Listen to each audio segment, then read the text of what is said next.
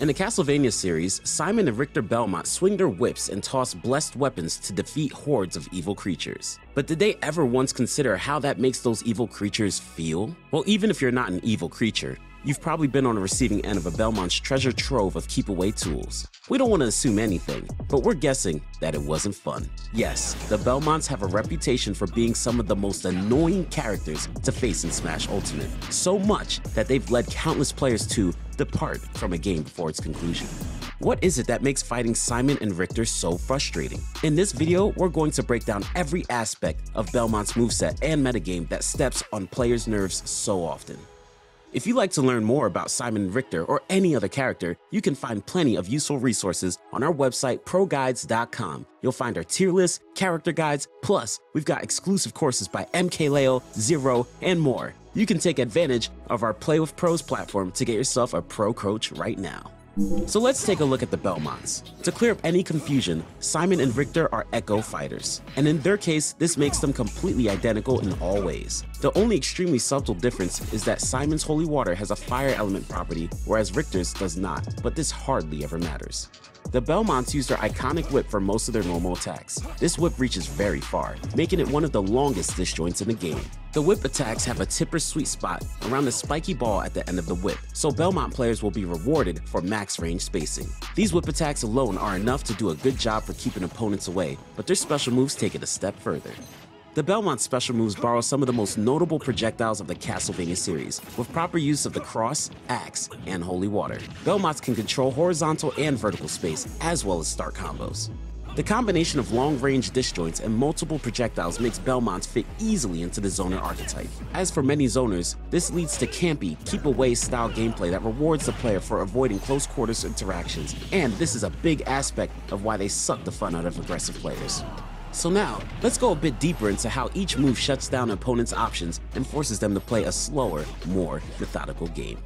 Cross is very often the first move that a Belmont player will throw out when a match starts. Similar to Link's boomerang, the cross will return to the player after hitting an opponent or traveling a certain distance. Unlike Link's boomerang, however, the cross will continue on a straight path regardless of the Belmont's position. Especially consider its rather large hitbox, this makes cross an excellent tool to shut down approaches and force a response from the opponent. If you try running in, you'll get hit by the cross, so you'll have to shield, roll, jump, or send it away with an attack. Most of these actions will give the Belmont time to set up another projectile, such as an axe or holy water, so getting past the first step hardly gets you through the obstacle course. If you opt to jump over the cross as most players do, you'll find yourself in the air where the approach is more telegraphed and the Belmont can punish your landing. If the cross hits you, it will send you away in the direction it's traveling from. This can sometimes result in a combo, but usually it'll just push you away so you have to start the obstacle course over again. Belmonts can get follow-ups from the cross if it hits on the way back, as it will then launch the opponent towards them. This makes jumping or dodging the cross even less effective, as you'll still have to deal with it as it returns. Cross can also be used to cover approaches, as the Belmont can throw it backwards before running in to have a surprise projectile following closely behind. Now let's say you've gotten past a cross and you're excited to finally get your hands on that campy Belmont. Well, it's not your turn yet. In the mid-range, Belmonts will likely use their whip to ward you off so they can acquire space and throw more projectiles. If you attempt to rush in on the Belmonts at this point, you'll probably eat a retreating aerial or forward tilt. The Belmont's back air and forward air have extremely long range and can be angled downward to hit grounded opponents. Since they have poor airspeed, however, the Belmonts may instead opt for a safer option of retreating forward tilt.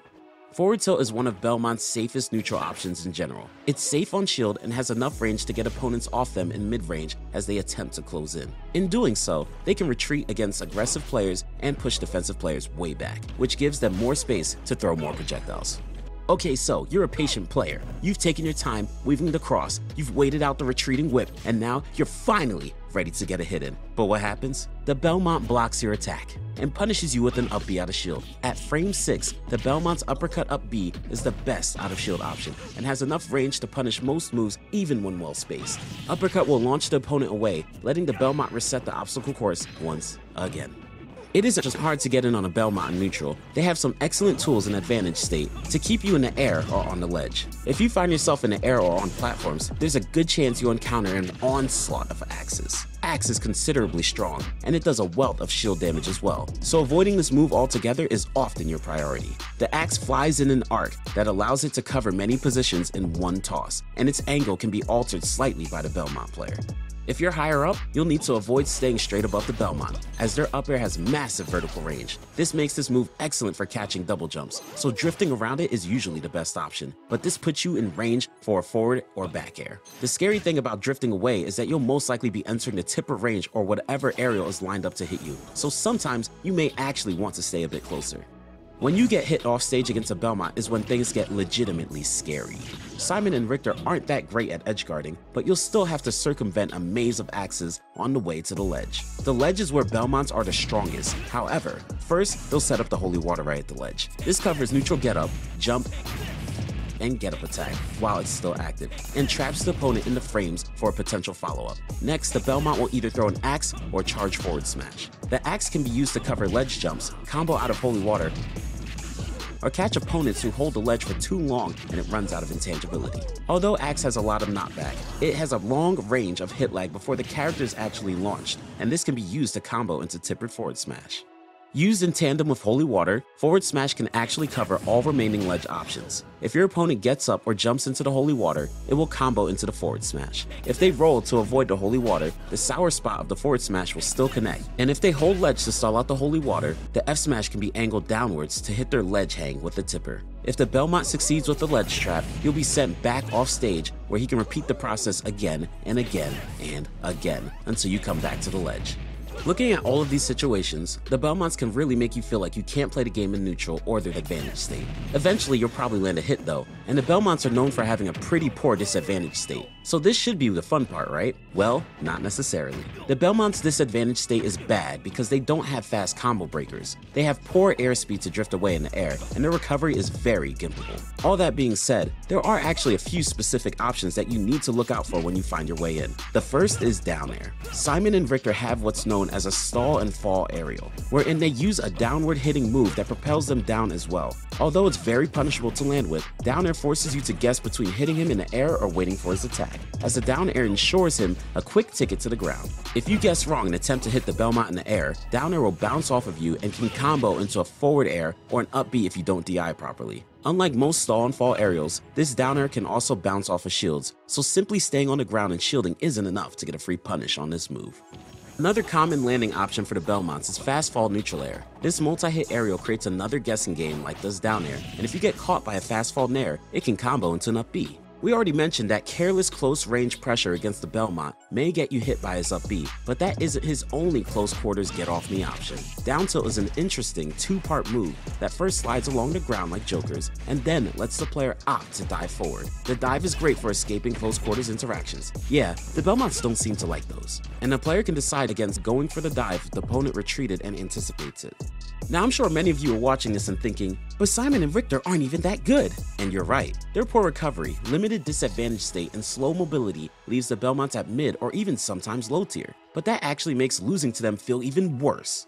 Like many characters in Ultimate, they aren't very capable against skilled players who know the matchup well, but not knowing the matchup will make them seem like top tiers. And when you do know the matchup, you'll know that you have to play a very slow game with little interaction until you find your way in. Either way, the Belmonts limit the activity of the opposing player, and for most players, activity equals fun, so it's only natural that this leads to a lot of rage.